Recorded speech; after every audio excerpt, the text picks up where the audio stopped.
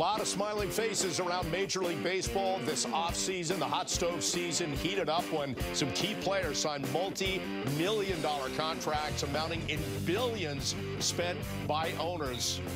Happy players, happy front office, happy agents, smiles everywhere, right, Michael? Yeah, 4% of a lot of money is a lot of money.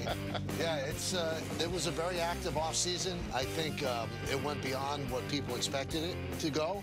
Uh, usually that happens the second year after a new CBA, and then the uncertainty of COVID seems to be waning just a bit. And boy, they cashed in. This was a great year to be a free agent. And you kind of brought this up earlier. A new industry standard has been set or created. A lot of these long-term deals, when nobody ever thought we'd see another 10-year deal, we see 11 and 12. Longer-term deals to diminish some of the average annual value. And I think also with an understanding, as great as some of these players are, the teams know that in the final two, three, four years of those deals, they're probably not going to get the best of that player, but they're hoping they do get the best of that player for the first seven or eight years. All right, so obviously a lot of teams feeling very good about their prospects. Everybody does as opening day uh, comes closer. Let's talk about winners. Who do you think were the top winners?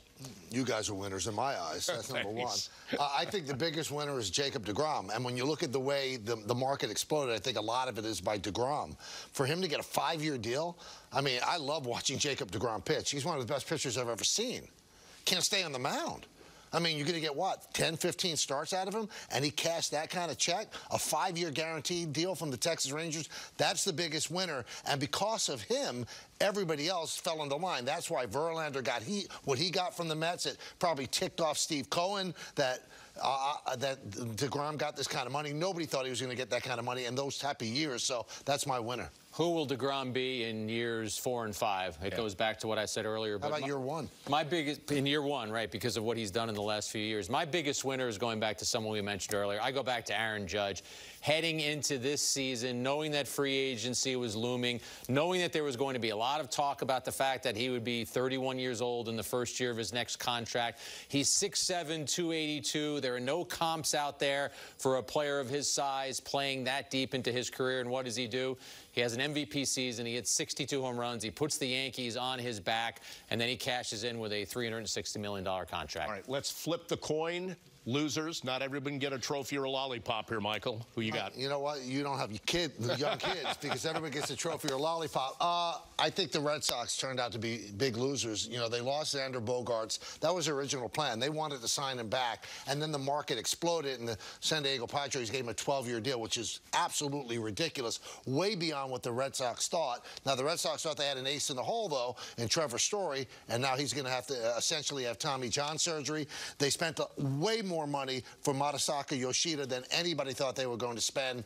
Uh, then they had to spend so much money on Devers because they couldn't lose him and, you know, lose Bogaerts to the fans' favorites. So I think their plan, whatever they had, it, it just fell apart during the offseason. And they, they looked as if they were chasing their tail at the end. And they gave money that they didn't want to give. And they lost players that they didn't want to lose.